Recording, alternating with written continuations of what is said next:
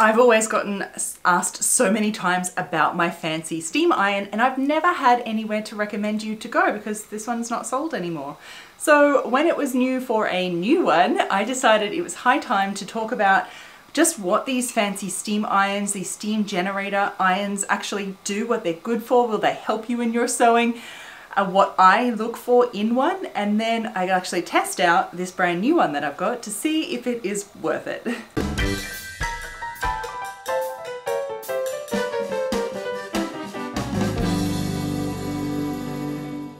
my sewing friends, welcome back. Uh, this is going to be a really interesting video. it is, uh, what are we going to talk about? We're talking about these steam irons, these steam generators, these fancy steam irons that you see me use and many other people and you probably even looked at them and thought, what do they do and is it worth it? We are going to talk about all of that. So let's cover off what they actually are, what they do, different functions than say just your regular domestic iron that you're kind of used to. Um, why these are like different and then what I look for in one, what are the requirements that I did look for when I purchased this new one. and we're going to test out this new Tefal. Um, uh, I'll write down what it is as well to see if this one is of use because I've had this uh, model of Tefal, um, Tefal Easy Pressing. I've had this one for a decade and I love it, absolutely love it. And I get asked all of the time, where can I get one? Like what's it called? I want one, where can I get one? But unfortunately they don't sell this model anymore, which is super sad because I love it, I love it. And as you know, I'm building a second sewing space uh, at my home now. And so part of that is needing one of these because to me, they're totally worth it. And I would never go back to those domestic irons and we'll talk about that in a second. So I needed to get a new one and I wanted to find one that I could actually recommend to you. So see you know whether it's worthwhile or not um, purchase as well. So this is my hunt for the perfect uh, steam generator iron, the perfect iron for a home sewist. That's you and me. So this is what we'll be com um, comparing. So we'll talk first about just what are these fancy steam irons? What do they do? The first thing that you notice is obviously they're built into a big like water tank boiler type thing. So uh, they have a larger capacity so you can have much more steam than your regular sort of domestic iron. So like so much, you know, you usually fill up like this much. This new one, this has 1.5 nine litres compared to that little cup that you might put in the little household iron. So a huge amount more. So it means less trips filling it up and you get a heap amount of steam. They are designed to get steam. So you get really good steam, a lot of it, and without the spitting of water because they're really designed, as the name suggests, a steam generator to get steam. And a lot of these, which we'll talk in a minute, actually come with the ability to vertically steam. So you can use it as a steamer and an iron. So not all models do, but we'll talk about that in a little bit. And of course, the other big thing is the big units that they're on here. So they are like built in to this, and so it actually provides some stability. So usually, you know, with your home iron, this is the new one. I'm working out the noises.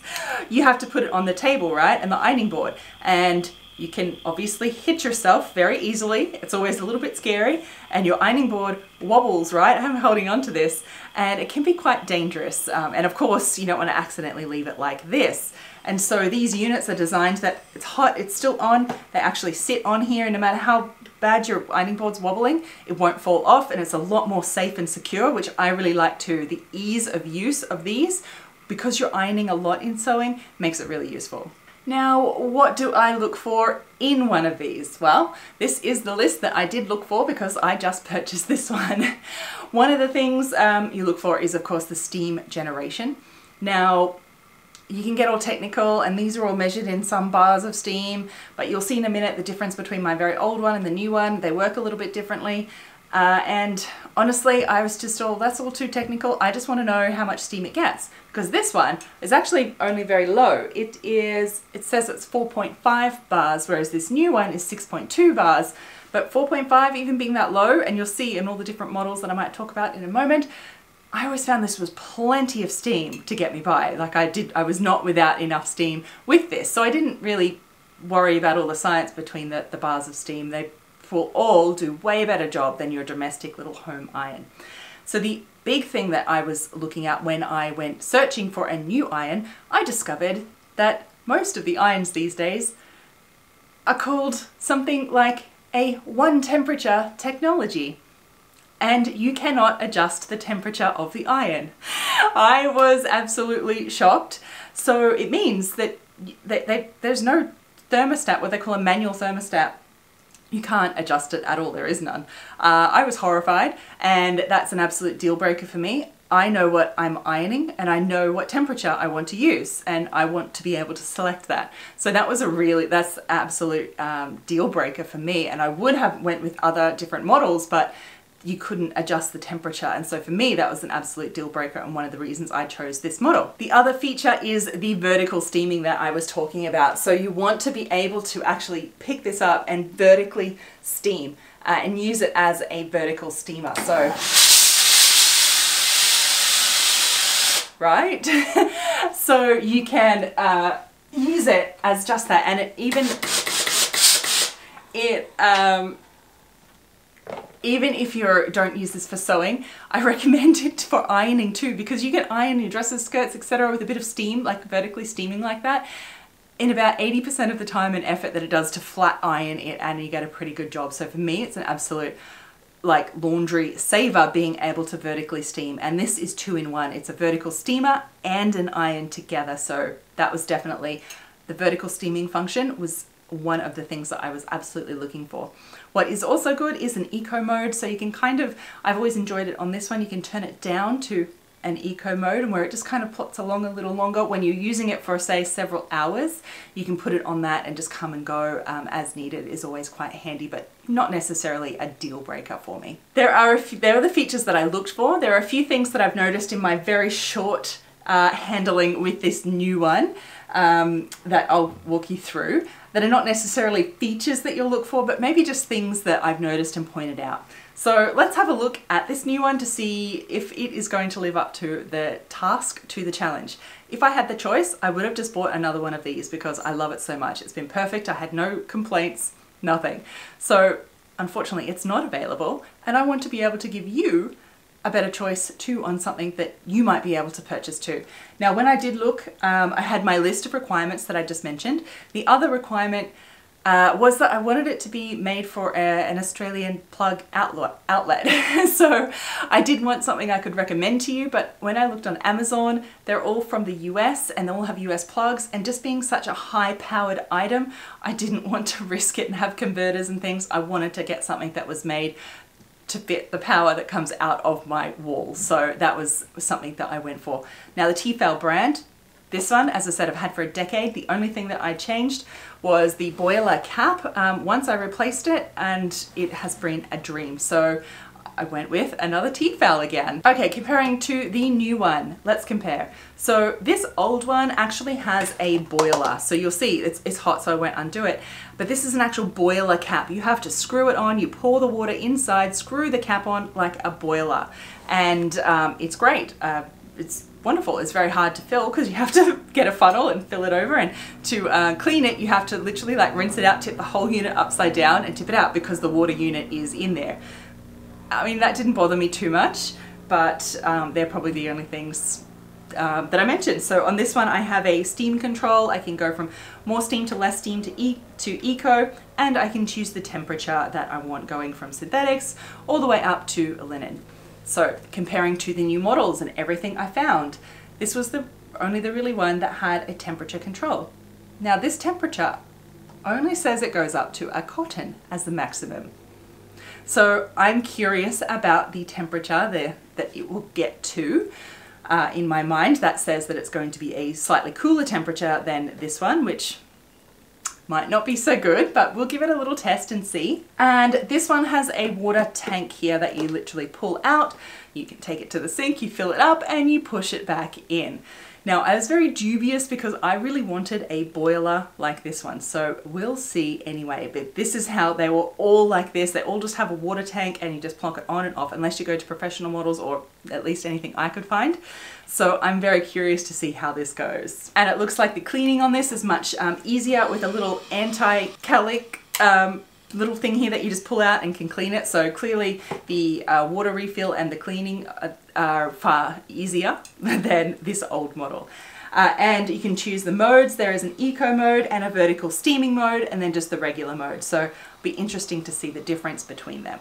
So let's have a little look. I have had only a little play, as I said, just to get it started and get it sort of worn in a little bit because it did say it would spit water when you first used it, and yes, it did. But um, I've sort of worked that out and given it a bit of use now. So, but unfortunately, it still spits some water. So there's water spits through here. Did you hear this pumping? Can you hear that? So to get the steam in this, it obviously draws the water from the tank into a boiler and it keeps like like squirting water into itself, I guess. And so I was not expecting that noise and well, I not, it's not necessarily a problem, but I film tutorials, so that pumping sound, I'm not sure. It's very nice to glide. It's probably heavier than my old one. I do really like the tip of this. It's quite pointed and I can feel already that that would be really good to actually um, poke into little corners and everything as opposed to my old one here. Um, I do think that little pointed tip will be absolutely uh, beautiful. So to give you an idea, this is how my old one steams. You just press the button and it goes. It steam is just there waiting for you. I usually press it and then stop and keep ironing. So um, yeah, the steam is definitely different. This one is delayed.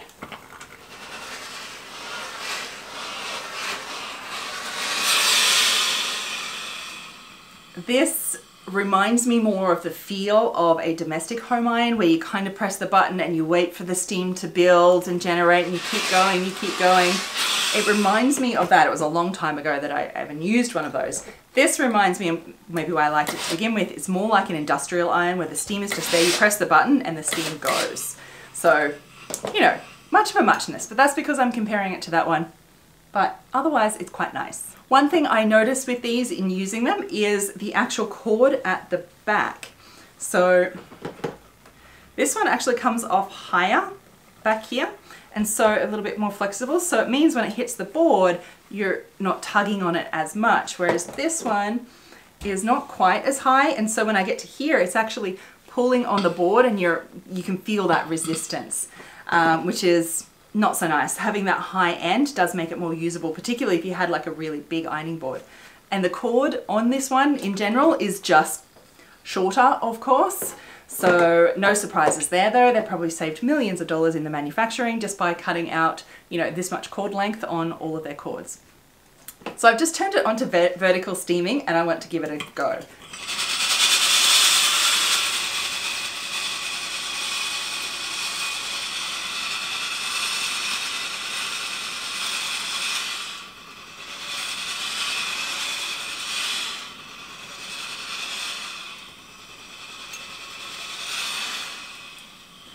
Um, yeah, it good. The same thing, it kind of slowly gives the steam out and it's still steaming when it's there, which is a little disconcerting, compared to my old one.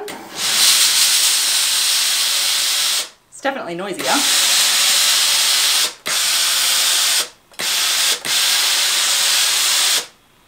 Yeah, um, this one did run out of steam. I was vertically steaming and it kind of like spat water a little bit um, at one stage. So there is that. Um, I think that because it draws in smaller amounts, but let's just give it a bit more of a try.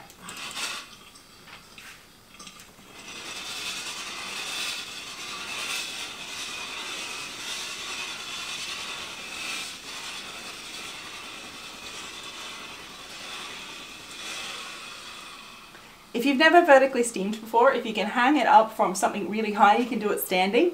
Otherwise, really, you'd want to be down here doing this. You just put a little bit of pressure and let it drop and um, press. That's done a really nice job. Actually, it was quite nice to use for the vertical steaming and it's done a quite job. I don't like how it just puffs out steam like that. but all in all, and I do like that you have a little light on the top so it's really obvious when it's on. I don't like the fact that it pumps out. Let's give it a little heat test. Uh, I would like to compare with linen and see how hot it gets. So I've got some wrinkly linen seams here and we'll do one each. I've turned them up to the maximum temperatures to see if this cotton setting is hot enough to actually iron linen.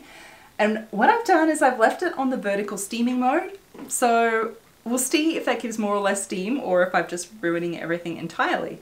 We'll see. So let's have a go.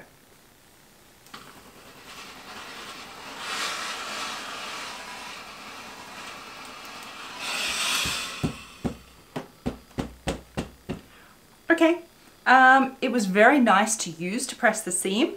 The linen is still a bit wrinkly, but linen is notorious for that. Um, it didn't feel super hot when I uh, did the little test, and I shouldn't do that, I know, but it's what I'm used to with this one. So let's give this one and see if the temperature here is in fact hotter or cooler or is going to make any difference on our linen.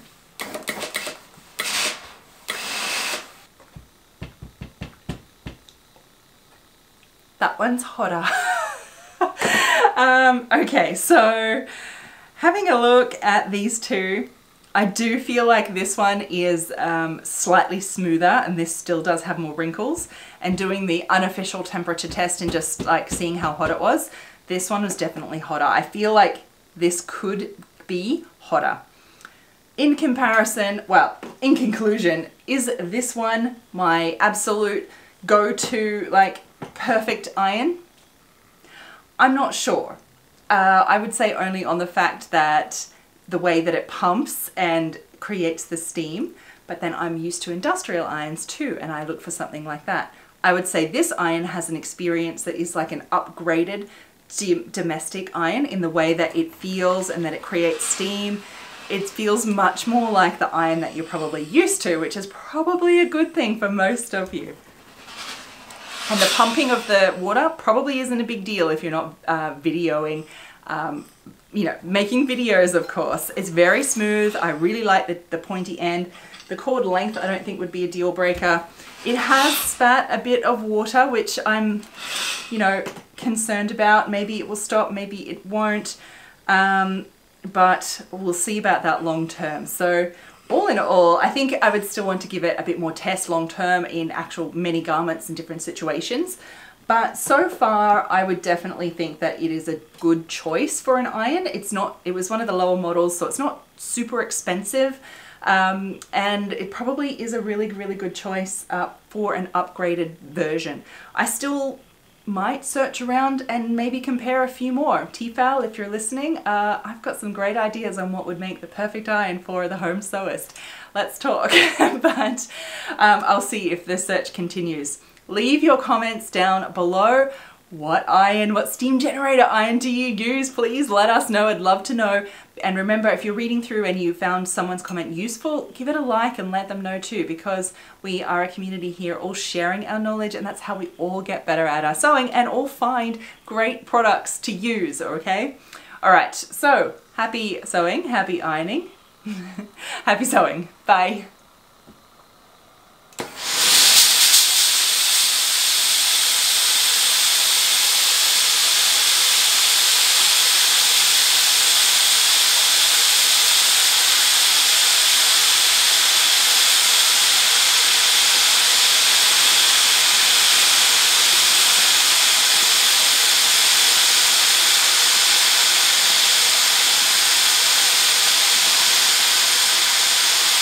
Okay. this one ran out of steam first. It was spitting water. You can see the difference. This one has like a nice flow. This one is like steam jets. That was quite interesting. And it's still steaming.